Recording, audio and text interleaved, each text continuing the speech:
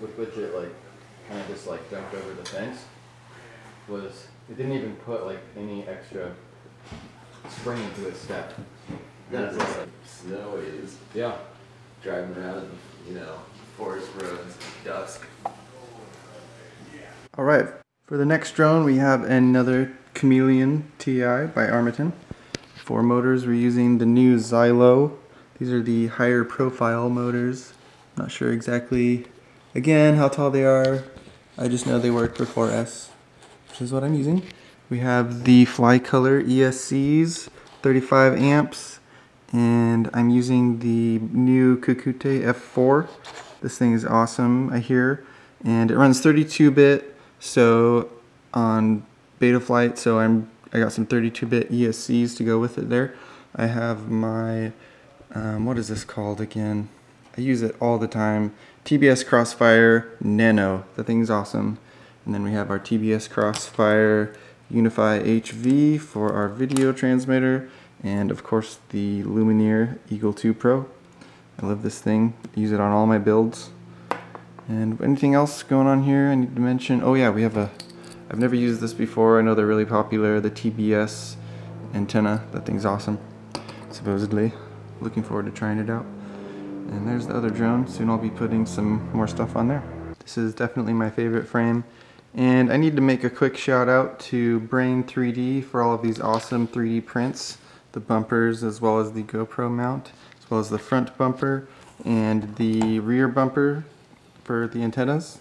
And I'm using these on all of my builds. I've used them on all of my builds since I started this whole thing. And I think they're just perfect for what we need in this hobby.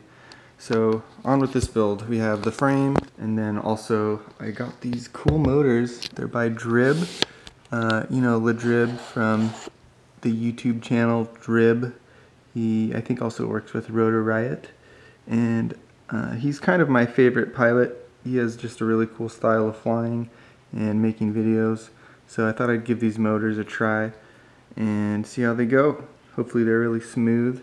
And also I got his flight controller. Forgot to get it out.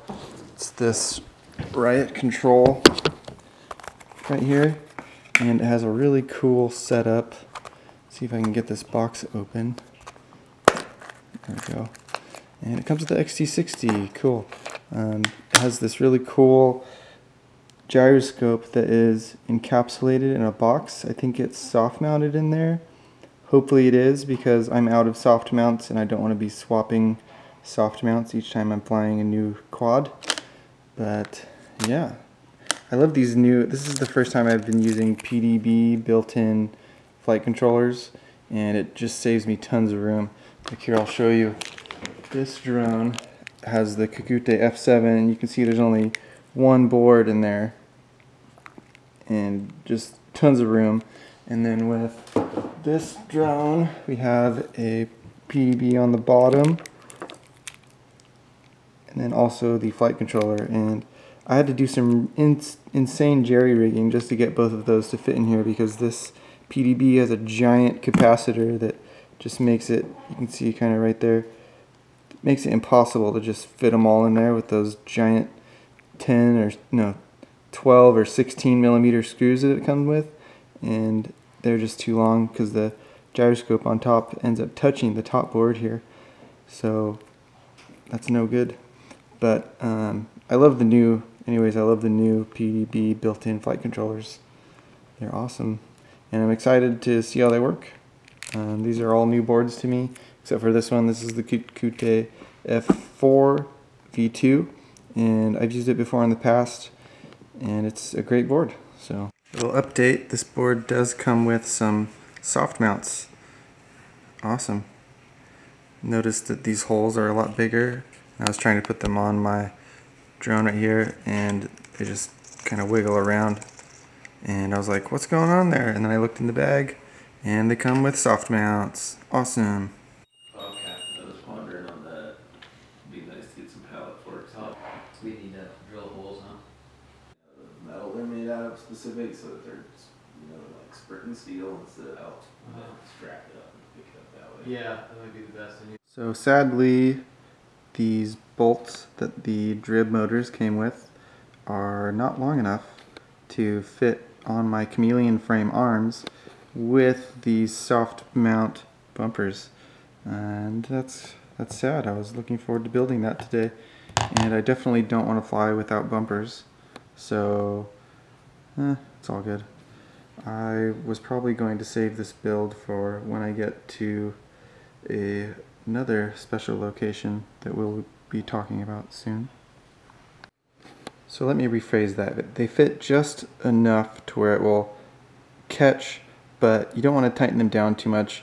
I've tried to use screws this length with motors on this frame with these bumpers, and they end up just stripping the metal that's either on the motor base there or off of the screw itself. And that's no fun when you just have stripped screws, you know. So I'm going to go ahead and attach them anyway with the short screws, short bolts, whatever, and I'll just build the drone and fly it later, but I'll make sure to get some better bolts for it when I'm ready to fly. So those motors are on there nice and snug and safe. So let's go ahead and move outside. I like to go outside when I solder because solder's gross. Anybody can tell you that. If you like to breathe solder, you're gross. So I got my drone set up here. One, two, three. Solder. Got an XT60 tail for each one of them. And I also have a box for when I'm unscrewing things. I like to have the drone over the box. Of course the box will be open. So if a screw falls, it doesn't fall into these epic cracks and get lost forever because sadly most of these kits they never come with like spare screws at all like maybe one and I mean you have a million things that you need to screw all the time so if you if you lose one screw you're kind of screwed no pun intended